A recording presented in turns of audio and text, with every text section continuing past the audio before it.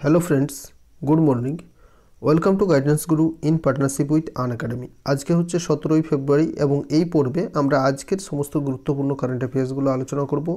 অবশ্যই সঙ্গে থাকো লাস্ট পর্যন্ত দেখতে থাকো। আজকের প্রতিটি প্রশ্নই কিন্তু তোমাদের সমস্ত পরীক্ষার জন্য ইম্পর্ট্যান্ট তোমরা নতুন হয়ে থাকলে আমাদের চ্যানেলটা অবশ্যই সাবস্ক্রাইব করো, পাশে দেওয়া বেল আইকন অন করো। এবং তারপর অল নোটিফিকেশান অবশ্যই অন করো। প্রত্যেক দিন কারেন্ট অ্যাফেয়ার্সের ক্লাস করার জন্য সকালের সময় এবং প্রত্যেক দিন সন্ধে আমাদের সাতটার সময় ডব্লিউপি জিকের মক টেস্ট হচ্ছে। তোমরা যদি এখনও টেলিগ্রাম এবং ফেসবুক গ্রুপে জয়েন না করে থাকো, তাহলে অবশ্যই টেলিগ্রাম ফেসবুক গ্রুপে জয়েন করো। সেখানে সমস্ত পিডিএফগুলো তোমরা একসঙ্গে পেয়ে যাবে। চলো তাহলে আজকের ক্লাস শুরু করা যাক।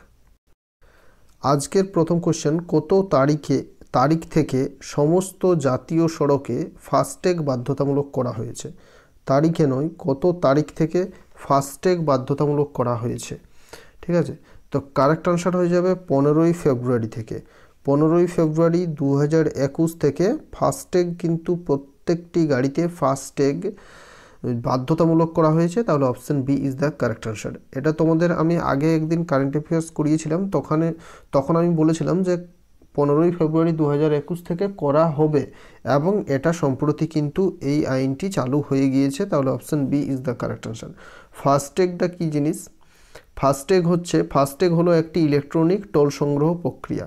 ঠিক আছে? ফাস্ট্যাগকে যেমন আমরা টোল প্লাজাগুলোতে টোল আমাদের দিতে হয় যখন গাড়ি জাতীয় সড়কে যাওয়ার সময়, তো তাহলে ফাস্ট্যাগ যদি তোমার থাকে, তাহলে কিন্তু তুমি ফাস্ট্যাগ আগে থেকেও তুমি রিচার্জ করে রাখতে পারবে, ঠিক আছে? তাহলে option B is the correct answer পনেরোই ফেব্রুয়ারি দু হাজার একুশ। এবং এটা পরিচালনা করছে কে? এনএইচএআই অর্থাৎ national authority national highway authority of India India chairman কে রয়েছেন? সুখবীর সিং সাধু এবং কত সালে প্রতিষ্ঠা হয়েছিল? উনিশশো পঁচানব্বই সালে। তো প্রথম কোয়েশ্চেন থেকে এতগুলো ফ্যাক্ট জানলাম। দ্বিতীয় প্রশ্নে আমরা যাব। দ্বিতীয় প্রশ্নে যাওয়ার আগে বলব যে আমাদের ক্লাস ভালো লাগলে অবশ্যই প্রচুর পরিমাণে তোমার বন্ধুদের সাথে শেয়ার করো। প্রত্যেক দিনের মতো আজকেও আমরা এক হাজার লাইকের টার্গেট রাখলাম। তো প্রত্যেকে তোমরা লাইক করে তোমার বন্ধুদের সাথে শেয়ার করো। দ্বিতীয় প্রশ্ন হচ্ছে, সম্প্রতি জাতীয় সংস্কৃত উৎসব দু হাজার একুশ আয়োজিত হলো কোথায়? কোথায় আয়োজিত হলো? তো সম্প্রতি এটা আয়োজিত হলো আমাদের পশ্চিমবঙ্গে, কলকাতাতে আয়োজিত হলো জাতীয় সংস্কৃত উৎসব দু হাজার একুশ option C is the correct answer এবং এটা ছিল এগারোতম এগারোতম এবং উদ্বোধন করলেন পশ্চিমবঙ্গের, উদ্বোধন করলেন পশ্চিমবঙ্গের গভর্নর জগদীপ ধনকর। তাহলে option C is the correct answer বিবিধতার মধ্যে ঐক্যকে উদযাপন করার জন্য দু পনেরো সাল থেকে এক ভারত শ্রেষ্ঠ ভারত প্রোগ্রাম এর অন্তর্গত কালচারাল মিনিস্ট্রি দ্বারা এটা প্রত্যেক বছর কিন্তু এই উৎসবটি আয়োজন করা হচ্ছে। তাহলে এটা হচ্ছে পশ্চিমবঙ্গে। Option C is the correct answer. আজকের পরবর্তী প্রশ্ন, সম্প্রতি রিপোর্ট অনুযায়ী শেষ ছয় বছরে খাদি কাপড়ের উৎপাদন কত বৃদ্ধি পেয়েছে? শেষ ছয় বছরে খাদি কাপড়ের উৎপাদন বৃদ্ধি কত বৃদ্ধি পেয়েছে? উনত্রিশ percent option B is the correct answer অনেক সময় অনেক প্রশ্ন ইম্পর্টেন্ট নাও থাকতে পারে, পরীক্ষায় নাও আসতে পারে, কিন্তু ইনফরমেশনটা তোমাদের জেনে রাখা ভালো ডেলি লাইফের এগুলো কিন্তু তোমাদের বিভিন্ন জায়গাতে কাজে লাগবে, ঠিক আছে? চার নম্বর কোয়েশ্চেন দেখো, কোন রাজ্যের পুলিশ মহিলা সুরক্ষা ও সশক্তিকরণের জন্য ডিজিটাল আউটরিচ প্রোগ্রাম চালু করেছে? কোন রাজ্যের পুলিশ এটা করেছে? মহিলাদের সুরক্ষা এবং সশক্তিকরণের জন্য ডিজিটাল আউটরিচ প্রোগ্রাম চালু করেছে। এটা হতে হবে Uttar Pradesh. Option D is the correct answer.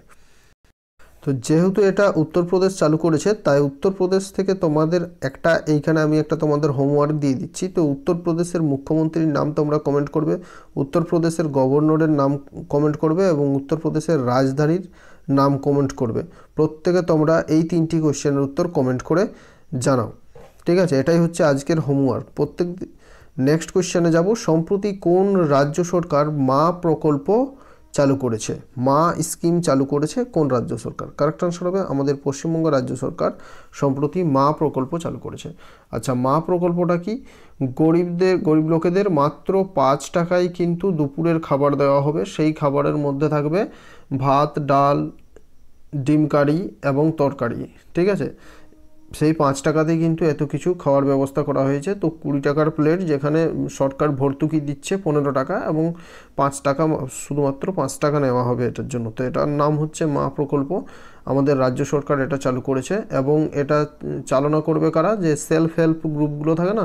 Self help গ্রুপগুলো এটা চালনা করবে এবং প্রত্যেক দিন ওয়ান পিএম একটার থেকে দুপুর একটার থেকে তিনটা পর্যন্ত খাবার দেওয়া হবে এবং ধীরে ধীরে এখন কলকাতাতে একশো চুয়াল্লিশটি ওয়ার্ডেই এটা আশা করি চালু করা হয়েছে।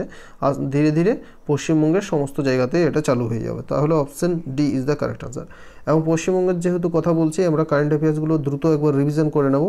পশ্চিমবঙ্গের কারেন্ট অ্যাফেয়ার্সগুলো সম্প্রতি মাটির স্মৃতি যোজনা চালু করা হয়েছিল, কর্মসাথী প্রকল্প চালু করা হয়েছে, সন্ধান অ্যাপ চালু করা হয়েছে, স্নেহের পরশ যোজনা চালু হয়েছে, প্রচেষ্টা প্রকল্প চালু হয়েছে, পথশ্রী প্রকল্প চালু হয়েছে, সবজি উৎপাদনে প্রথম স্থান অধিকার করেছে পশ্চিমবঙ্গ, সড়ক দুর্ঘটনার ক্ষেত্রে বিনামূল্যে অ্যাম্বুলেন্স পরিষেবা দেবে পশ্চিমবঙ্গ, দুয়ারে সরকার অভিযান চালু করেছে, ভারতের প্রথম টায়ার পার্ক কিন্তু তৈরি হয়েছে পশ্চিমবঙ্গে, ঠিক আছে? মুখ্য সচিব নিযুক্ত হলেন আলাপন বন্দ্যোপাধ্যায়, গভর্নরের নাম হচ্ছে Jagdeep Dhankhar oil and natural gas, Bengal basin twenty four চব্বিশ পরগনা জেলাতে উদ্বোধন করলেন ধর্মেন্দ্র প্রধান।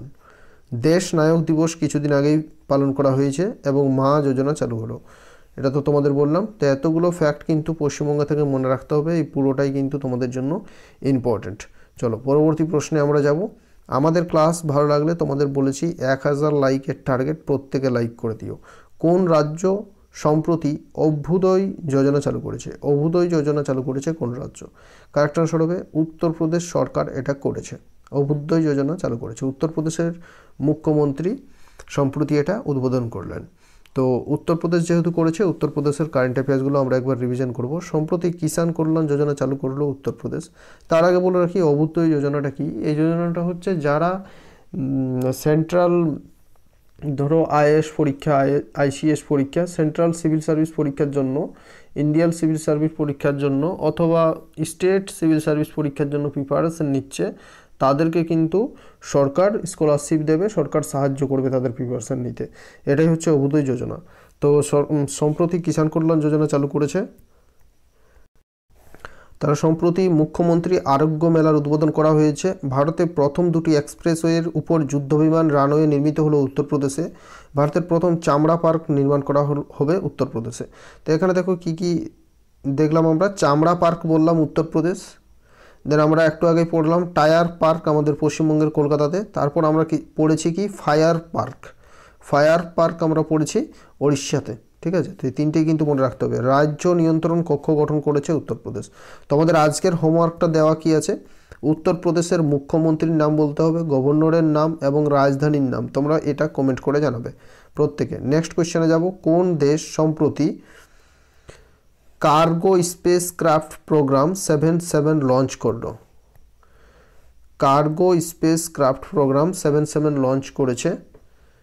Progress sorry progress seven seven launch করল কোন দেশ? কারেক্ট আনসার হবে Russia. Option B is the correct answer আচ্ছা রাশিয়া যেহেতু লঞ্চ করেছে, তো রাশিয়ার বর্তমান রাজধানীর নাম কি? মস্কো। রাশিয়ার কারেন্সির নাম হচ্ছে রুবেল। রাশিয়ার বর্তমান প্রেসিডেন্ট হচ্ছেন ভ্লাদিমির পুতিন। ঠিক আছে? পরবর্তী প্রশ্নে আমরা যাব। আট নম্বর, ভারতের প্রথম ভ্রমের মিউজিয়াম নির্মাণ করা হলো কোথায়? ভ্রমের মিউজিয়াম মানে কি? Museum of illusion.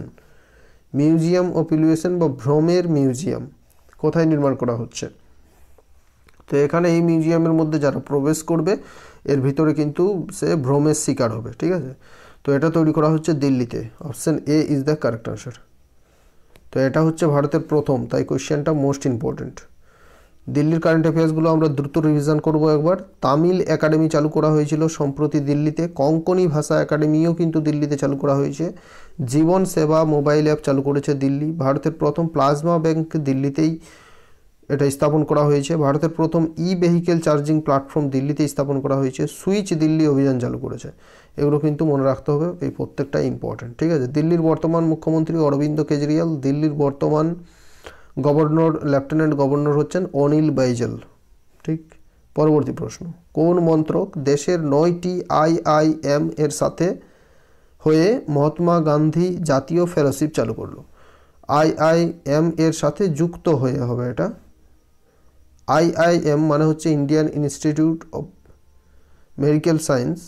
Sorry, ভুল বললাম।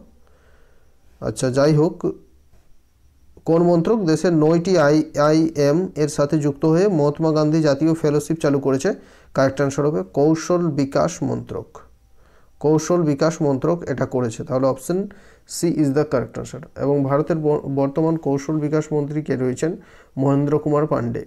এই ফেলোশিপ প্রোগ্রামটি ওয়ার্ল্ড ব্যাংক এর ঋণ সহায়তা প্রকল্প সংকল্প দ্বারা শুরু করা হলো। ওয়ার্ল্ড ব্যাংক এর একটা ঋণ সহায়তা প্রকল্প রয়েছে, যার নাম হচ্ছে সংকল্প। তো এই সংকল্প প্রোগ্রাম এর মাধ্যমে এটা চালু করা হলো। ঠিক আছে? ওয়ার্ল্ড ব্যাংকের হেডকোয়ার্টার কোথায় অবস্থিত? ওয়াশিংটন ডিসি শহরে এবং প্রতিষ্ঠা হয়েছিল উনিশশো চুয়াল্লিশ সালে। পরবর্তী প্রশ্ন, প্রয়াত হলেন পি ভি সামন্ত, তিনি কোন ক্ষেত্রের সঙ্গে যুক্ত ছিলেন? পি ভি সামন্ত সম্প্রতি প্রয়াত হলেন এবং তিনি একজন বিচারপতি ছিলেন, সুপ্রিম কোর্টের বিচারপতি তিনি ছিলেন এবং তার লেখা একটা বই বিভিন্ন পরীক্ষাতে বারবার আছে, যেমন এ গ্রামার অফ ডেমোক্রেসি এই বইটা হচ্ছে important. A grammar of democracy এটা তোমরা খাতাতে নোট করে লিখে রাখবে, এই বুকটা কিন্তু পরীক্ষাতে আছে।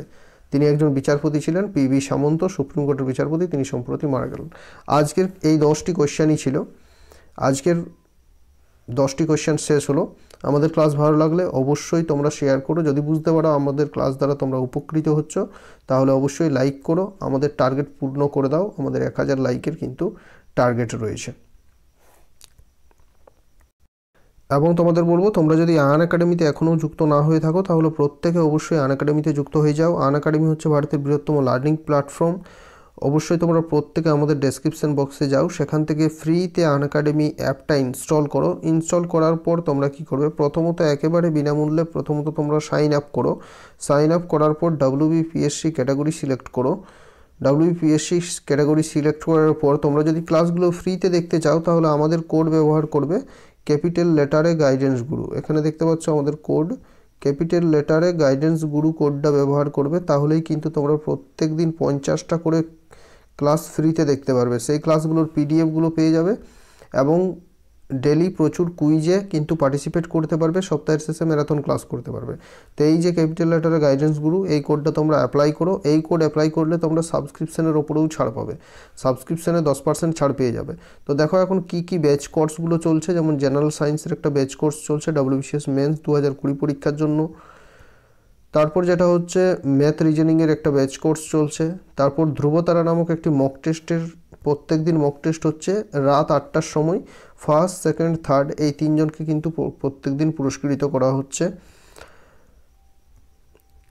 তো তোমরা যদি সাবস্ক্রিপশন নিতে চাও, তাহলে আমাদের যে কোডটা বললাম ক্যাপিটাল লেটারে গাইডেন্স গুরু সেই কোডটা তোমরা ব্যবহার করবে। এই কোড ব্যবহার করলেই তোমরা দশ পার্সেন্ট ছাড় পেয়ে যাবে সাবস্ক্রিপশনের ওপরে। গাইডেন্স গুরু লিখবে, কোথাও কোনো স্পেস নেই। এবং এই কোডটা অ্যাপ্লাই করলে তোমরা কিন্তু ক্লাসগুলোও ফ্রিতে দেখতে পারবে। Thanks for watching this video thank you অবশ্যই তোমার বন্ধুদের সাথে আমাদের ক্লাসটা শেয়ার করে দাও।